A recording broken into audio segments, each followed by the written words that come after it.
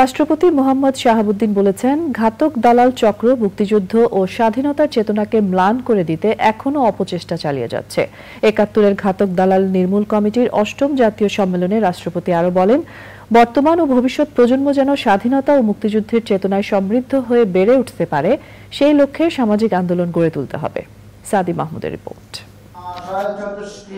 একাত্তরের ঘাতক দালাল নির্মূল কমিটির অষ্টম জাতীয় সম্মেলন রাজধানীর ওসমানী স্মৃতি মিলনায়তনে। প্রধান অতিথি রাষ্ট্রপতি মোহাম্মদ শাহাবুদ্দিন। স্বাধীনতা বিরোধীরা এখনও আছে বলেই ঘাতক দালাল নির্মূল কমিটির প্রয়োজন রয়েছে বলে রাষ্ট্রপতি তার ভাষণে উল্লেখ করেন। তিনি বলেন স্বাধীনতা বিরোধী অপশক্তির বিরুদ্ধে সামাজিক আন্দোলন গড়ে তুলতে হবে। স্বাধীনতার তিপ্পান্ন বছর পরেও ঘাতক, দালাল, চক্র, মুক্তিযুদ্ধ স্বাধীনতার চেতনা সহ আমাদের সাফল্যকে ম্লান করে দিতে বিরামহীন অপচেষ্টা চালিয়ে যাচ্ছে। সুযোগ পেলেই বিষধর সাপের মতো ছবল মারতে চায়।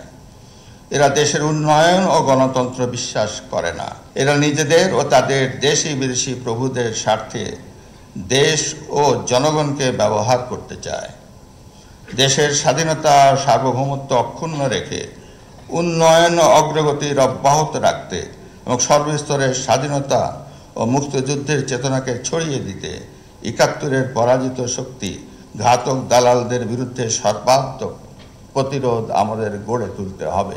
বহির্বিশ্ব থেকে যারা বাংলাদেশ বিরোধী অপপ্রচার চালাচ্ছে তারা মূলত এই দেশের অগ্রগতি থামিয়ে দিতে চায় উল্লেখ করে রাষ্ট্রপতি বলেন তরুণ প্রজন্মকে এ বিষয়ে সতর্ক থাকতে হবে। তরুণদের প্রতি আমি আহ্বান জানাব আপনারা মুক্তিযুদ্ধের ইতিহাস পড়ুন, বঙ্গবন্ধুর জীবনী ও আদর্শ সম্পর্কে জানুন। আপনাদের মননে, বোধে, জীবন চারণে মুক্তিযুদ্ধের আদর্শকে লালন করুন। ডিজিটাল মাধ্যমকে আপনারা ইতিবাচকভাবে ব্যবহার করুন। মুক্তিযুদ্ধের ইতিহাস, বঙ্গবন্ধুর দর্শন, ধর্মনিরপেক্ষতা ও অসাম্প্রদায়িকতায় বোধকে আপনারা সামাজিক যোগাযোগ মাধ্যমে ছড়িয়ে দিন। বিশ্বের কাছে তুলে ধরুন বাঙালির গৌরবোজ্জ্বল ইতিহাস। মুক্তিযুদ্ধের চেতনায় ধর্মনিরপেক্ষ গণতান্ত্রিক সহনশীল ও মানবিক সমাজ ও রাষ্ট্র প্রতিষ্ঠার সংগ্রামে একাত্তরের ঘাতক দালাল নির্মূল কমিটির অগ্রযাত্রা অব্যাহত থাকবে বলেও আশা প্রকাশ করেন রাষ্ট্রপতি। সংগ্রাম। Sadi Mahmud channel I Dhaka.